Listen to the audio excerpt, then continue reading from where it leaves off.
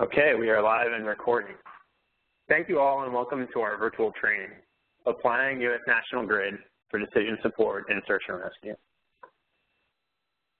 My name is Paul Doherty, and I am the lead for Search and Rescue GIS at the National Alliance for Public Safety GIS Foundation, or NAPSG for short.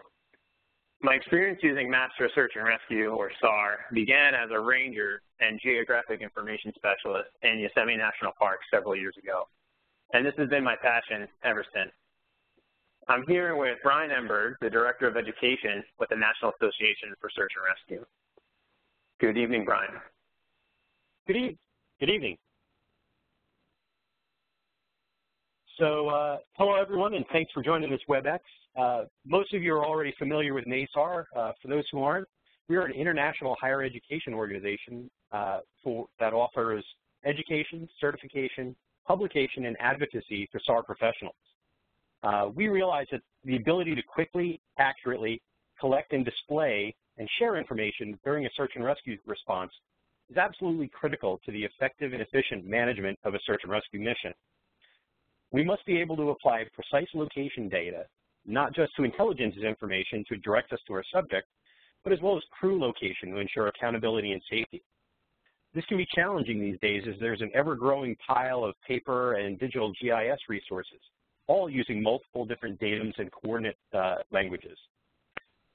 To establish a shared picture in an incident, we must embrace the shared geospatial coordinate reference system. That is U.S. National Grid. That's why we're here today you can expect to see a lot more U.S. National Grid material in all future location, uh, future offerings from the National Association for Search and Rescue. Next slide. Great, thank, thank you, Brian. Uh, and NAPSG is very proud to, uh, to be partnering with NASAR on this initiative. NAPSG has a mission to equip emergency management and public safety with knowledge, skills, and resources to apply decision support technology, primarily in this case, geospatial decision support tool. Virtual trainings like this one is one way we support this mission. The search and rescue community is critical to this mission, and we intend to increase our support for search and rescue in 2016, starting with the establishment of the NAPSG Foundation SAR Working Group. NAPSG was founded with support and guidance from an alliance of the major national public safety associations who are committed to working together in partnership for the purpose of enhancing our ability to protect our citizens. NAPSG's been around for nearly 10 years, and we are a 501c3 not-for-profit, and we're led by a governing board of directors that's comprised of public safety practitioners from across the nation. This recent par partnership with the National Association for Search and Rescue is very exciting, and this virtual training is our first event together. So Brian, why are these two organizations here today? What are we here to learn? Our purpose today, Paul, is to gain hands-on skills for using the U.S. National Grid as a point and area reference system that provides actionable location information in a uniform format, to highlight best practices and lessons learned from field responders, and to achieve a consistent situational awareness across SAR teams and multiple agencies during an incident. Next slide. Our training objectives today are to learn how to apply a U.S. national grid enabled decision support uh, tools to enhance coordination during SAR operations, to gain insights from real-world incidents where U.S. national grid was successfully used to support SAR operations, to explore the use of U.S. national grid and GIS in search and rescue operation workflows, and to learn about the suite of U existing U.S. national grid and GIS decision support tools that are already available. Next slide. So before we get going, here's some key terminology. When we refer to the U.S. National Grid or USNG, we're referring to a common location, area, and point reference language for ground and ground-to-air operations. When we refer to Geographic Information Systems or GIS, we're referring to a system designed to capture, store, manipulate, analyze, manage, and present all types of spatial or geographic data. Really, a simpler definition is data that you can see on a map. When we use the word SAR today, we're referring generally to the search and rescue and provision of aid to people who are in distress or imminent danger. we recognize that U.S. National Grid will apply to each subdiscipline or operation in different ways. But using U.S. National Grid as our location language will increase our interoperability. Just as a reminder before we continue, slides will be made available after the presentation, and type your questions in and we'll review at the end of the Q&A session. Next slide. The way we're going to tackle our training objectives today is by looking at the U.S. National Grid from three distinct viewpoints. We're going to learn how to apply U.S. National Grid as a point reference, and this will form the foundation for our understanding of this coordinate system. We'll then move on to using U.S. National Grid as an area reference. And then finally, we'll support all of this, uh, the use of U.S. National Grid, through a short demonstration on how U.S. National Grid can be used for decision support. Search and rescue, or SAR, whether urban or wildland, is an inherently spatial problem. Therefore, effectively, communica effectively communicating location is paramount. Yet, many search and rescue teams are not using the geospatial tools needed in large-scale disaster on a day-to-day -day basis. There is often inconsistent and insufficient use of U.S. National Grid and location-enabled decision support tools. Maps may exist, but are not necessarily effective in mission-critical decision-making. And overall, this leads to a lack of interoperability. For example, how many of you have heard a phrase like this before? The decimal degree coordinates may have been entered into a software interface box for degree minute seconds. I think that in my experience, there are countless uh, incidents where ineffectively communicating location through coordinates has led to a delay or incorrect response. You'll see here a link on the slides for more stories like this one.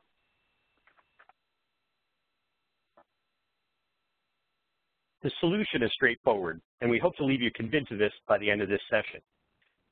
Use U.S. National Grid every day in training and for operations. And get to know your local GIS specialists from the Wildland Fire Incident Management Team, State EOC, County Parcel Office, or County OEM. And we'll talk a little bit more about this later, but you can visit the NAPSG Regional Leadership Team website where you can find GIS specialists that specialize in public safety in your community. Okay, so now let's dive into why agencies are using U.S. National Grid. Well, first of all, U.S. National Grid provides a unified language for defining areas of interest, reporting, planning, and navigation. It helps us transform data to actionable information in a uniform format. It provides a consistent situational awareness across jurisdictions, disciplines, and all levels of operation. It also provides interoperability in both a connected and disconnected environment. The U.S. National Grid is used by FEMA urban search and rescue teams. You see here in uh, the Moore tornado in particular, uh, task force teams were using U.S. National Grid. The U.S. National Grid can be readily adopted by all search and rescue teams, especially those that are already using UTMs, for instance, mountain rescue teams or teams that are working in wilderness areas. And remember, U.S. National Grid will be used on all large-scale disasters and will be an indispensable tool for communicating location across jurisdictions and operations, such as in the picture here in the Colorado floods where we have military, urban search and rescue, and even wildland search and rescue teams cooperating together. Finally, nearly every after-action report post large-scale or regional disaster clearly indicates the need for a common grid reference system. This goes all the way back to Hurricane Andrew and many disasters ever since. Furthermore, if you show up on a large incident with multiple agencies, you can expect to see U.S. National Grid. It's already a standard.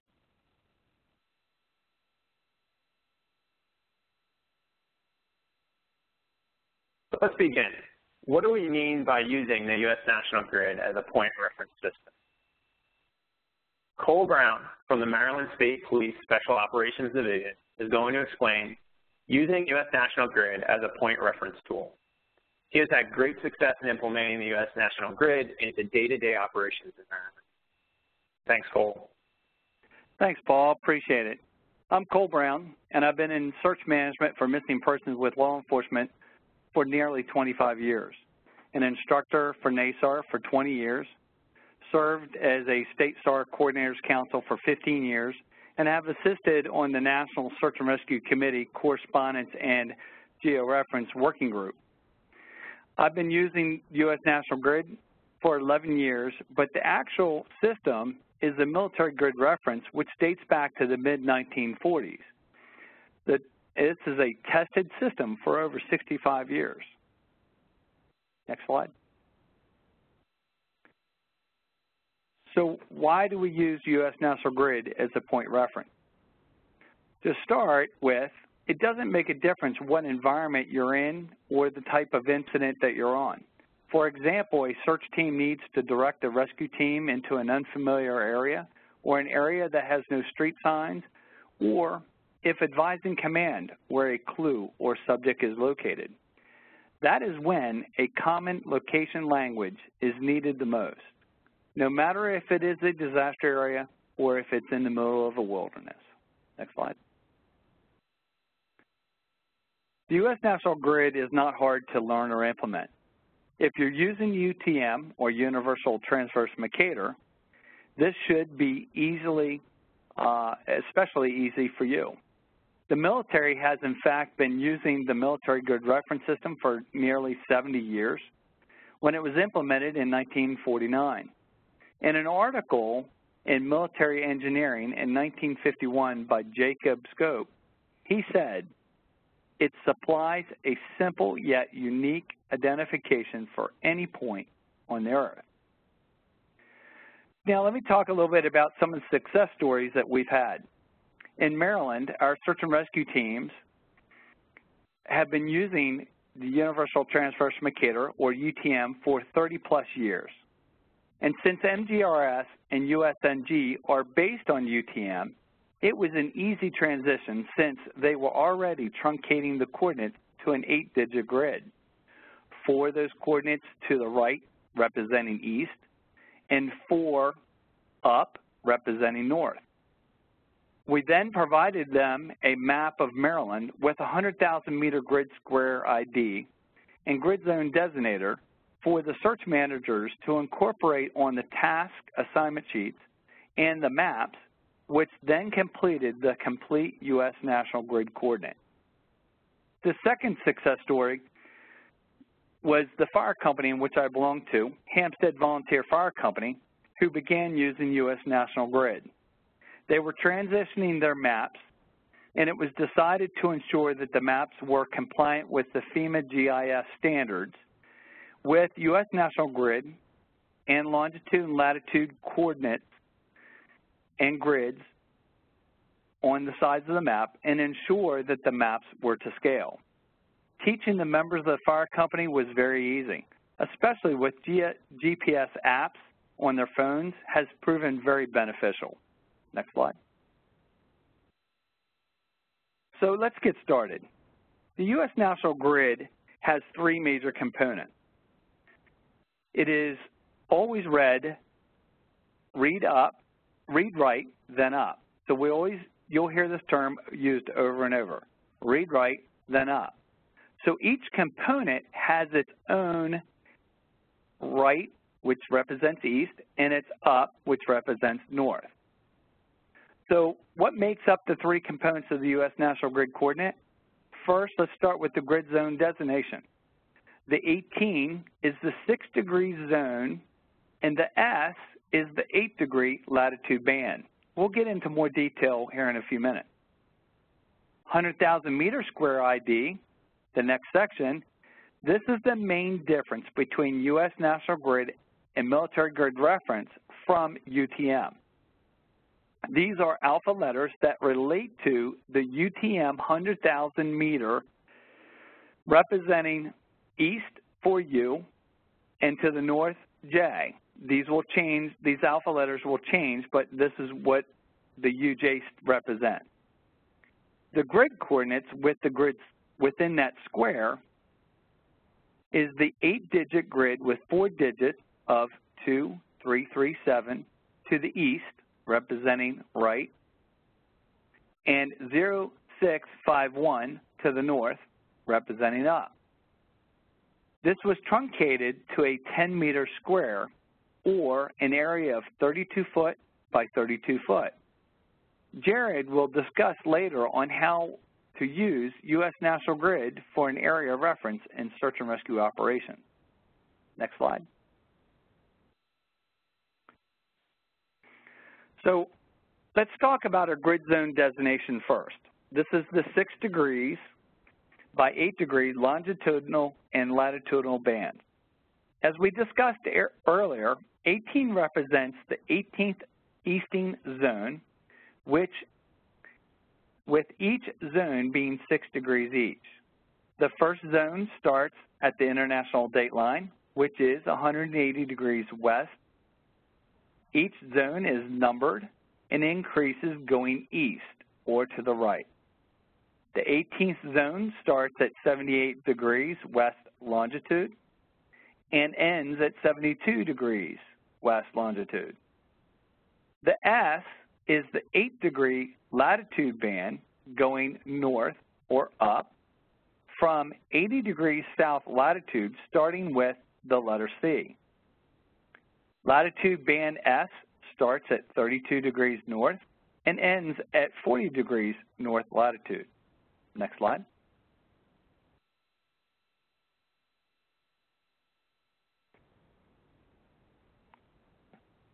The grid zone designation.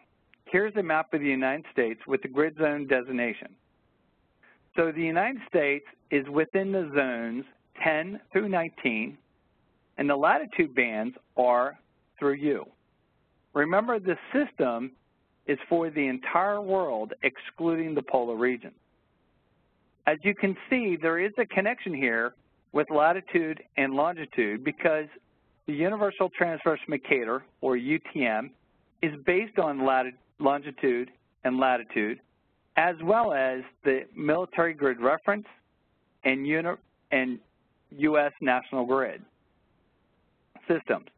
They're interrelated, but the big difference is that U.S. National Grid allows us to measure distance and area on the ground without any special calculations or tools. This is extremely simple but powerful capability that differentiates it from longitude and latitude without losing the reference to longitude and latitude. Before we move on, had a great question pop up here. And the question came from somebody that said, why does CAP still use longitude and latitude versus U.S. National Grid? And are there any plans to get Civil Air Patrol and the Air Force Rescue Coordination Center to move over to U.S. National Grid? Well, to answer that question, I can tell you that the Civil Air Patrol has been teaching at their uh, annual National Emergency Services Academy, UTM, for almost over 10 years, and for the past four years have been using teaching U.S. National Grid for ground search and rescue operations. Remember, in the Land SAR addendum and the catastrophic incident for search and rescue addendum, in the georeferencing section, there's a georeferencing matrix which states that during a SAR operations for land SAR ops, the primary system is U.S. National Grid, and the secondary uh, system is latitude and longitude in the format of degrees, minutes, decimal minute. And if SAR operations is in aeronautical operations, then the primary is longitude and latitude in the format of degrees, minutes, decimal minute. And the secondary is U.S. National Grid. So these systems are very interchangeable. Next slide. Here's a state map of Virginia showing a 100,000 meter square grid for the entire state. This is the main and only difference of U.S. National Grid from UTM. If you're using the full UTM coordinate, the easting coordinate without truncating the coordinate at the equator goes from 167,000 meters to 833,000 meters to the east for each six degree zone. The northern coordinate without truncating goes from zero to 10 million meters from the equator to the North Pole, which creates an additional digit. So to simplify this, we're using single alpha letters. These le alpha letters then relate to the UTM 100,000 meters to the east, representing U, and to the north, represented by J. The letters change every 100,000 meters. This system, this letter system was designed in 1942 by the Corps of Engineers of the U.S. Army. Most importantly is to obtain a state map with your grid zone designator and 100,000 meter grid zones from, for your response area. Next slide. Here's an example for the state of Maryland where the alpha letters that relate to the 100,000 meters show you the U and the J and how they change as they go across. So important is to check with your local GIS specialist to see if they can give you a designated map for your response area. Next slide.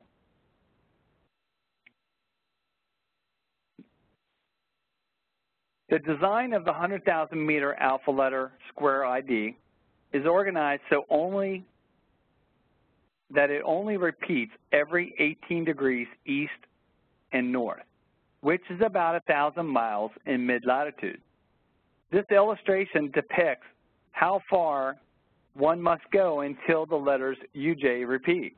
This ensures a given value, such as UJ 2337 by 0651 is unique throughout the entire state it's located in, as well as the surrounding state. Next slide. A USNG-enabled map, especially those derived from the Federal Geographic Data Committee standard, will always provide a grid reference box showing the grid zone, 18S, and the 100,000 meter square ID. Now enough of the details, so let's take a look at how we're going to read these coordinates and obtain the coordinates from a map. We have already determined from our map that we're in the grid zone of 18S UJ. So unless we move outside of this grid zone, it does not need to be reported and it can be truncated to an 8 or 10-digit grid based on the need for accuracy. Once we have identified a grid zone on 100,000 meter, we need to now identify the coordinates, how they are broken down, and how we see them on a 1,000 meter map. So here we have the uh, meters broken down, and as you can see, going to the east, you have 22, 23, and 24, and they're 1,000 meter blocks.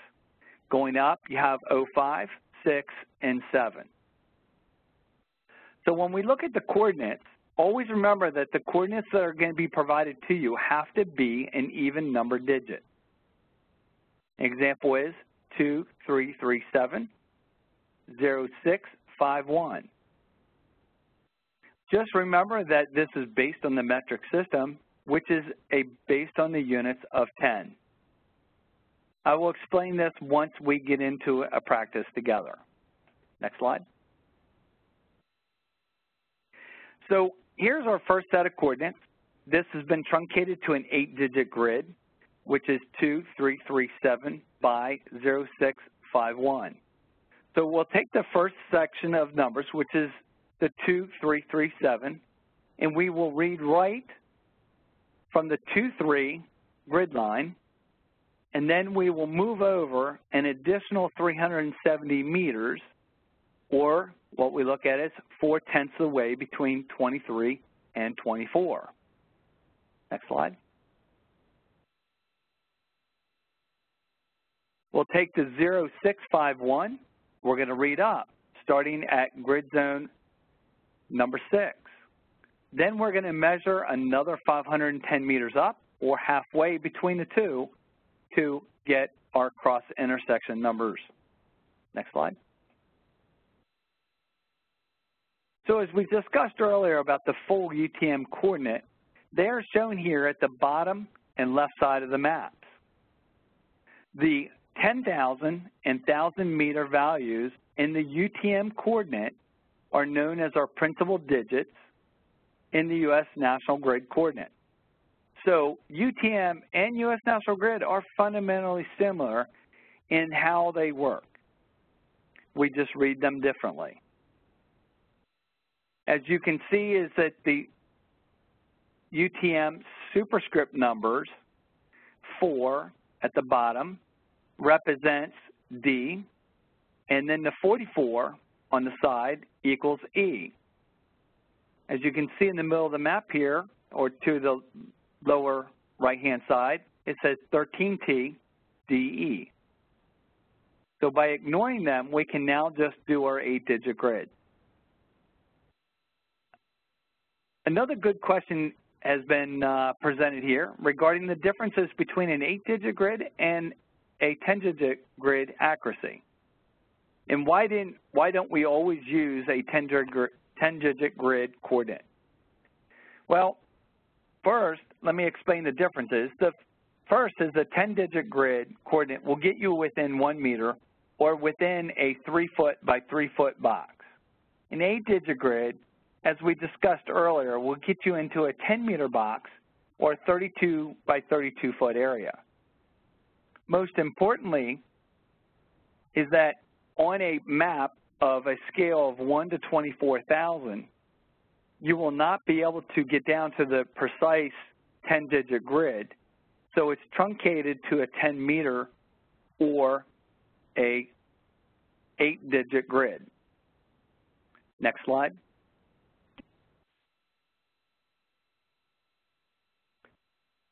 Now, most importantly here, the U.S. National Grid always uses NAD 83 or North American Datum 1983 or its equivalent WGS 1984 as its map datum. No exceptions, so you don't have to worry about it. Your GPS receiver or smartphone will default to these map datums. If you're using old maps that have NAD 27, that is a different story and will not be discussed in detail today.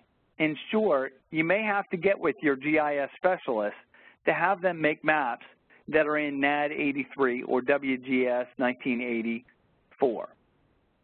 Now, as you can see here, that the only difference between MGRS and USNG is that MGRS uses World uh, WGS 84 and U.S. National Grid defaults to NAD 83. These systems are equivalently the same at scale smaller than 1 to 5,000. Next slide. Paul? All right. Well, thank you, Cole. That was a really, I think, effective ex explanation of how the U.S. National Grid works. Remember, this isn't the information that's going to be going through your head during a disaster, but it gives you a good background so you understand the system. With that being said, why don't we begin our first practice exercise together? Go ahead, Cole. Thanks, thanks Paul. So here we have a missing person reported, and the dispatcher gives you an address of 419 South Houcksville Road, Hampstead, Maryland, as the point last seen, and where the reporting party is missing. But as we go to this location, it takes us to the mail mailbox for this address good thing that we've been we have prepared a USNG enabled map book. We've been uh, provide you a copy of this map book page to this exercise. Go to the link uh, below, and this will be made available to you uh, for you to look at later. Next steps is to have the county provide you from the 911 center the U.S. National Grid coordinates from the teletype so that the U.S. National Grid information can be looked up. The ultimate objective here is to be precise with the location of where the actual caller is. In addition, our fire company, Hampstead Volunteer Fire Company, has built map books that have U.S. National Grid coordinates, and we're able to receive the U.S. National Grid coordinates um, and be able to have precise location. Next slide. So again, what is the grid zone designation? What is the 100,000 meter square ID? Well, since the maps are designed correctly, if we look at the lower corner here, we can see that this is in 18S UJ. From there, we'll go to the next thing. We'll look at our coordinates. So we know that it's 18S UJ, and the coordinates are 39225 by 80497.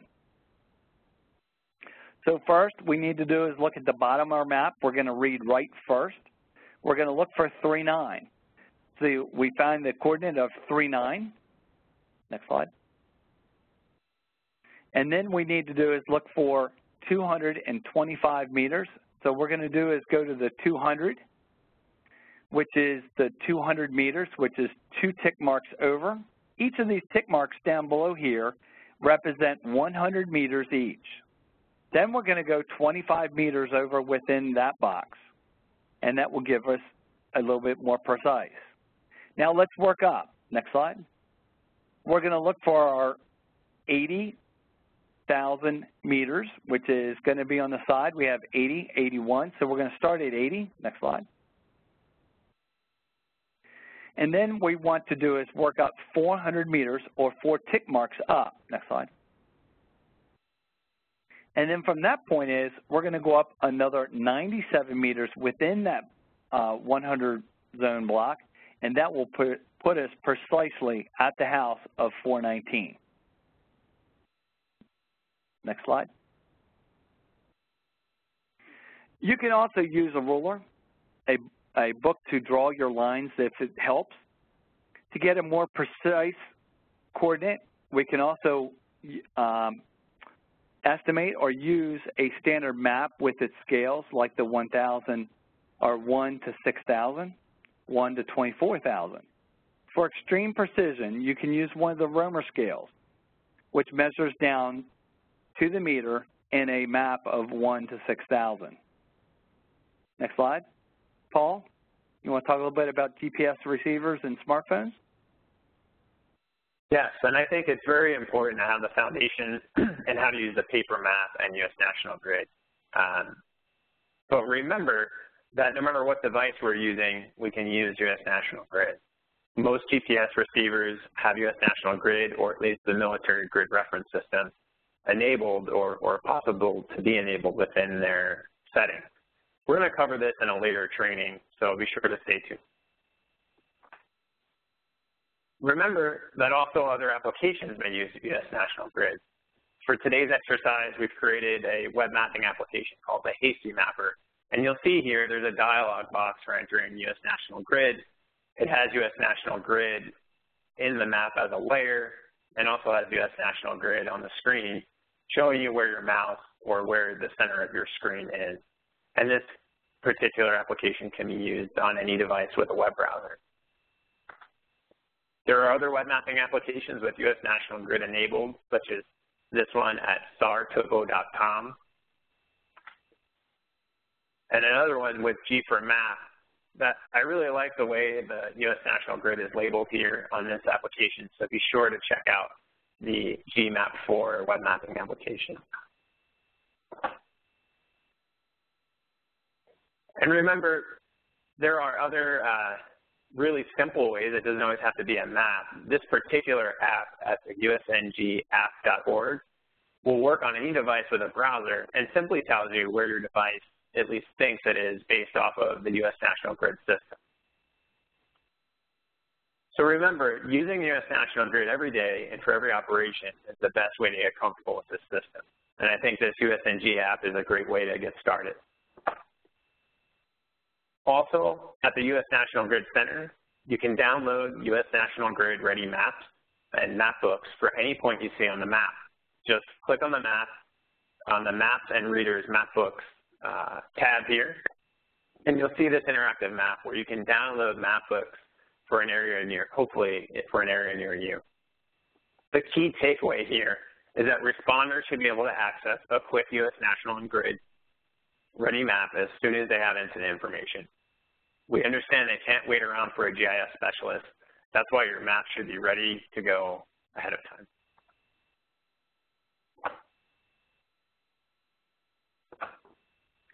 Now let us turn to the next topic, U.S. National Grid for area reference.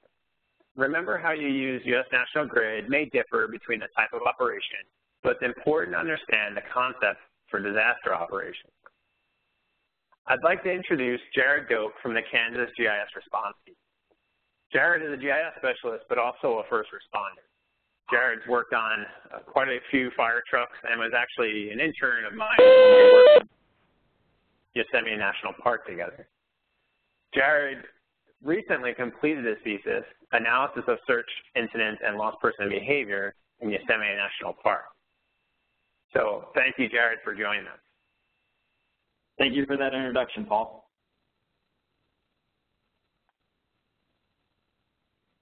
So I think that one of the most overlooked benefits of U.S. National Grid is the fact that it can be used not only as a point reference system, but as an area reference system as well.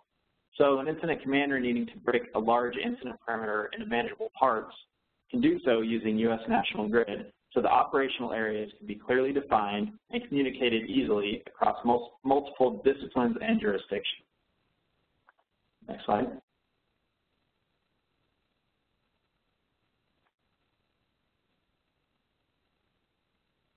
So you may be wondering what we mean by an area reference. Uh, what we mean by that is that coordinates can represent not only a point on the map, but a geographic area as well. And the precision of the coordinates determines the size of that area. So this is similar to latitude, longitude, decimal degrees, except for in this case, we actually know the level of precision we were talking about because U.S. National Grid is based on the meter. So you can see several examples uh, here below. And so the precision is four digits. Uh, we know that the area is a little over uh, half a mile. If it's six digits, it would be about the size of a football field. And 10 digits is down to one square meter. You want to remember when working with these coordinates, we always use an even number of digits, and you should ask for clarification if you're given otherwise. Next slide.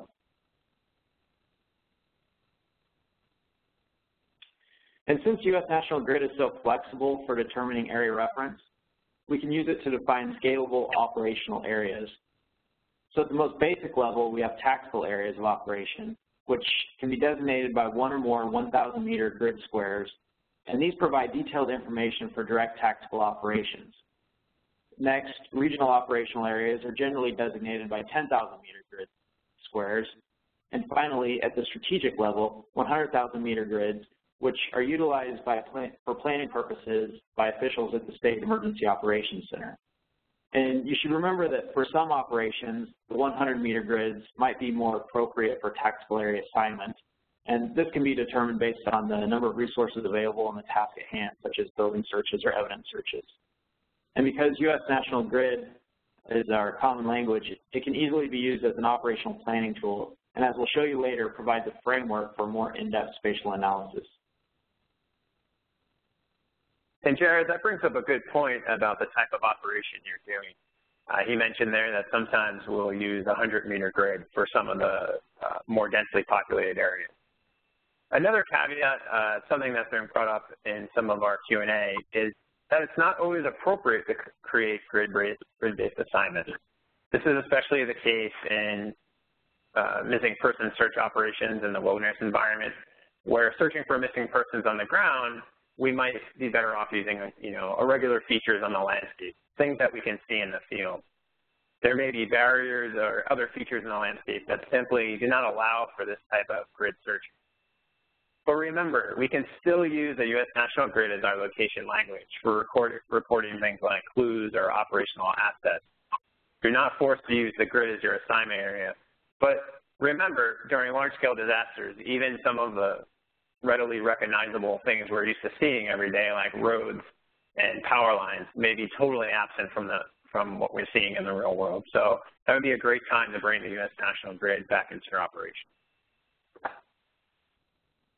So thanks, Jared, for that quick overview of using U.S. National Grid as an area of reference. Let's get right into our second practice exercise. Jared will introduce the scenario, and you can follow along on the screen or use the web mapping application at home using the link below. Right, so for this scenario, at 2132 hours on Saturday, May 21st, 2016, Manhattan, Kansas takes a direct hit from an EF5 tornado. Incident resources from the south are meeting near City Park, and given that they may have been, there may be other tornadoes across the Midwest, we need to think strategically. So using the Hasty Web Mapper, we are going to determine what our 100,000 meter grid zone designator is for this tornado, what our 10,000 meter grid area is, and then our tactical area uh, for City Park, which is the 1,000 meter grid. Next slide.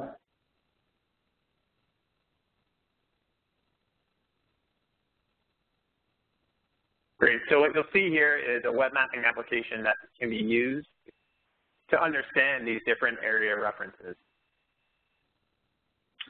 So you can search for Manhattan, Kansas up in the upper left corner, and you can very quickly see that it, Manhattan falls within 1-4 Sierra Quebec Juliet. And most local responders, responders will already be familiar with this information.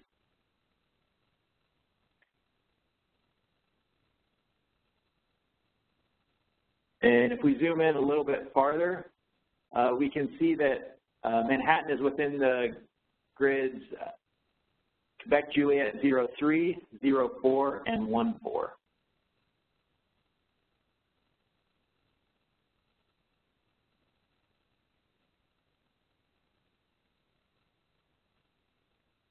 And we zoom in again, we can see that City Park, our initial rally point, is within the 1,000 meter zone of 09er, 39er.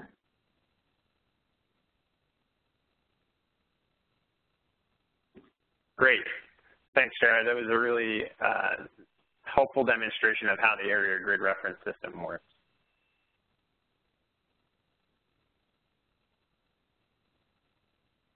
Sure, and we'll uh, quickly go over our answers again. So in the matter of seconds, you can see that our 100,000 meter grid zone designator is 1-4 Sierra Quebec Juliet. 10,000 meter grids are Quebec Juliet 04, 03, 14, and our 1,000 meter grid for City Park is 0939er.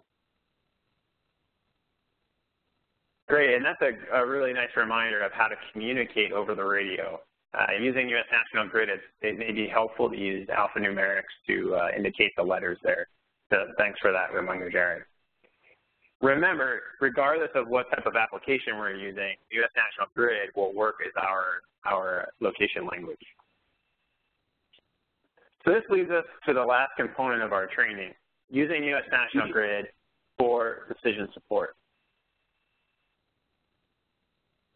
So why use U.S. National Grid for decision support?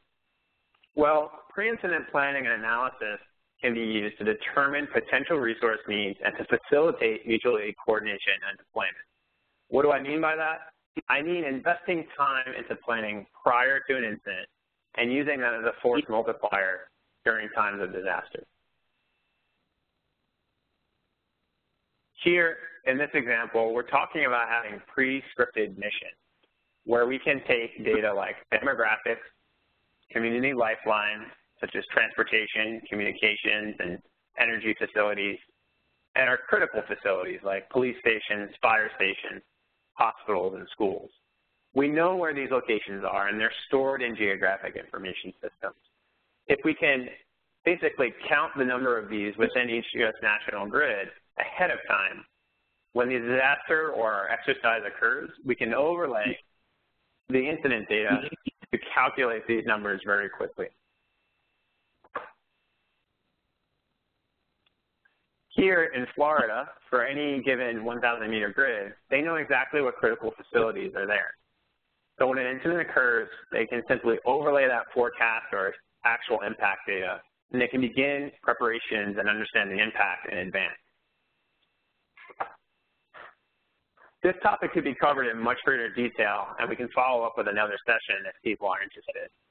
For more information on this concept, the pre-scripted mission, you can see the link here below. Now let's apply U.S. National Grid for decision support in our scenario from before. Go ahead, Jared. All right, so as responders arrive on scene, more information starts coming in. Structures along the center of the path incurred incredible damage. Facilities impacted include, but are not limited to, countless single-family residences, multi-unit student housing complexes, Kansas State University, Via Christi Hospital, several public schools, and a fire station. Local emergency resources have become overwhelmed, and multiple Kansas USAR task forces have been deployed to assist in search and rescue operations. So with this information, we have some critical questions that we need to answer, including how many people live in our impact area, and how do we prioritize tactical areas, and where would you send resources first? I mean, it wouldn't make sense to send the first search squad on scene to a sparsely populated outskirts of Manhattan when they could be greater utilized in an area more inhabited by more people.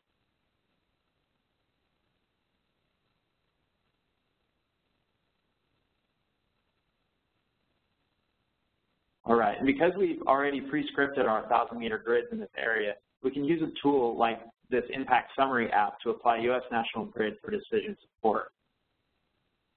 So here on the left, you can see uh, an interactive legend that tells tells us where most densely populated areas are. And on the map itself, you can see where the critical infrastructure is. So you can see where the fire departments are, and the schools, hospitals, et cetera. And in the boxes below, we have the total values for our impact area. So approximately 31,000 people live in this area. There are approximately 13,000 housing units that could be affected, 368 mobile home, homes, and a, and a little more than 700 businesses. If we click on the numbered boxes, we get more information, like where vulnerable populations are. So if we click on the grid square 1042, I can see the number specifically for that area.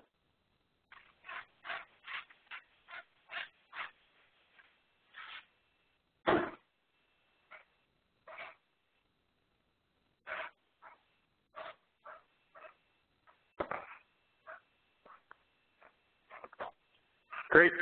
Thank you, Jared. I think that, you know, a simple web mapping application like this can go a long way during disaster. And remember, we're able to do this because we have prescribed missions. The numbers, the demographics, all the information is already stored in these boxes. And when we overlay the disaster or the impact area, we can quickly run these calculations and make it available for decision makers and responders. So Jared, so let's go ahead and review our answers. Yeah, to quickly review, uh, how many people live in our area? Uh, approximately 31,000 people, again, 13,000 housing units, uh, almost 400 mobile homes and a little over 700 businesses. And how do we prioritize these tactical areas and where do we send resources first? That probably mostly be the high density areas of population perhaps areas with uh, infrastructure that's mostly affected, such as areas with mobile homes, or it could be the vulnerable population, such as areas with a high senior population. And using Thank the you, information through our, sure. Go ahead, Jared. yeah, so using the information through our pre-scripted mission analysis, we can see the numbers on the map and begin making informed decisions. And you can see how U.S. National Grid is more than just a point and area reference system. Thank you. And I, I was going to add there, this might be a new concept for many of you. And if you're not a GIS specialist, or even if you are, you might be wondering, how can we begin this process? We'd like to have that conversation and, and perhaps even present this in future training. So please let us know if you are interested in this topic.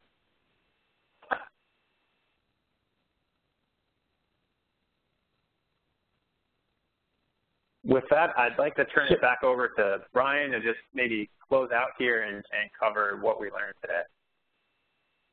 Sure. Cole, Jared, uh, Paul, thank you all for helping to explain how U.S. National Grid is more than just a point reference system. We hope that these short presentations and exercises were helpful in getting these points across. That U.S. National Grid provides a unified language for area of interest or area of responsibility reporting, planning, and navigation. It transforms data into actionable information in a uniform format. It is a consistent situational awareness tool across jurisdictions, disciplines, and all levels of operation. Lastly, it provides interoperability in both a connected and disconnected environment. Next slide. We hope the solution to the location language challenge is clear. We need to start using U.S. National Grid every day in all our training and all of our operations. We need to get to know our local GIS specialists from the wildland fire incident management teams, state and county EOCs, and we need to work on developing our own internal resources.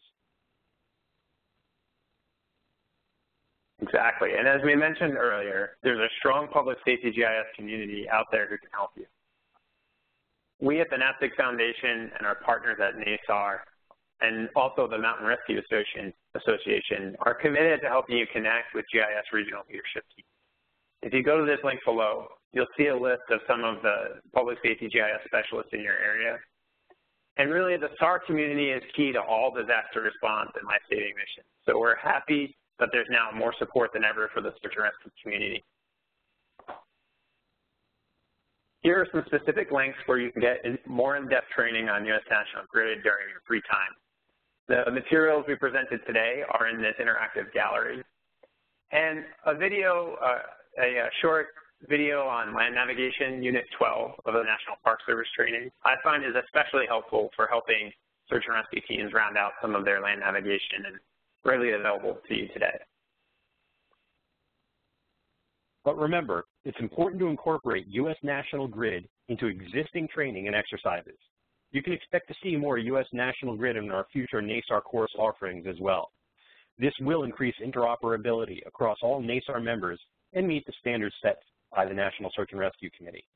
Thank you all again for joining us. Thank you. And before we address some of our questions, we'd really uh, like to take a moment to thank the National Alliance for Public Safety GIS Search and Rescue Working Group for their, for their help in connecting us with all of you here today. And we'd like to thank the following people for providing content and guidance on, on this particular training. So we had a few questions come up. One of them is, can I use my handheld GPS unit with U.S. National Grid? And the answer is most likely, especially a Garmin unit. And if for some reason U.S. National Grid doesn't show up in your settings, you can always use MGRS. Remember that you have to change both the position format and make sure the map datum is NAD83 or WGS 1984. We're going to cover this topic in more detail in our March uh, 2016 training, so, so stay tuned and make sure you sign up for that. Another question that came up is NAD 83 and WGS 84 really the same thing? Well, as Cole mentioned, they are functionally equivalent for search and rescue purposes. If you, the map on the screen shows you some of the differences, which is four feet in this western region of the U.S. and two feet over here in Florida. Effectively, in a search and rescue mission, unless you're doing some kind of fine scale uh, evidence search, this does not matter. Furthermore, the, uh, the error between these two datums is probably uh, less than the error on your GPS that you're using. But remember, that's between 1983 and 19, WGS 1984.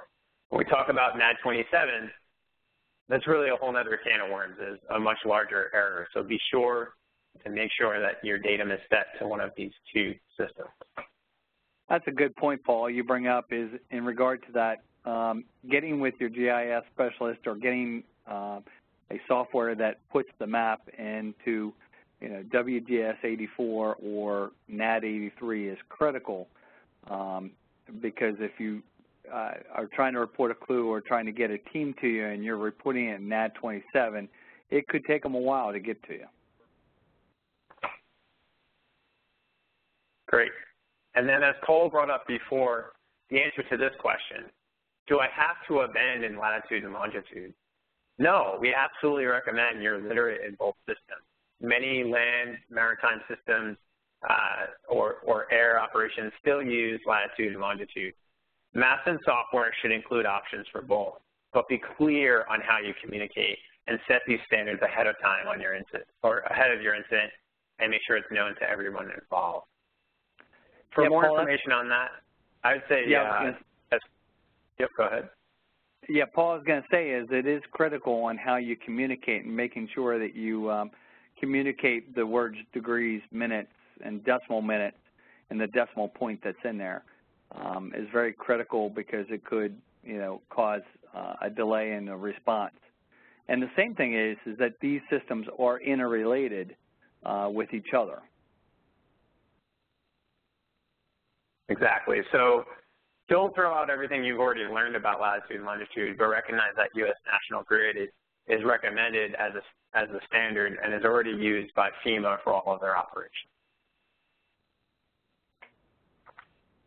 With that, thank you all for uh, attending this video. This is a second recording due to a problem with our initial recording, but we hope that we address some of the questions and answers, uh, some of the question, uh, Q&A panel questions that came up during the original recording. Thank you all for your patience, and I look forward to seeing you during the next training.